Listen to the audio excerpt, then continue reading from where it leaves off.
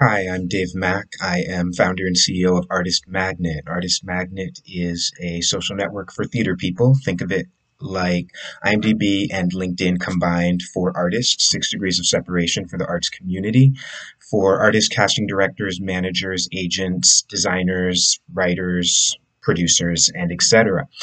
I built this out of frustration as an artist and also as a producer, barriers to access and networking and synergy is not widely available currently on platforms, so we decided to create our own.